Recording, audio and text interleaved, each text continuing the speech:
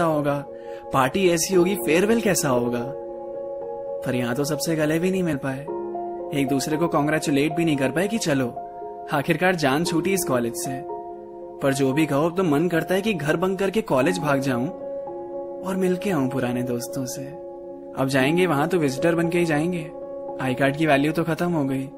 इतने सालों में जो यहाँ एक परिवार बन गया था, और आज ऑफिशियली अपनी कॉलेज लाइफ एंड हो गई।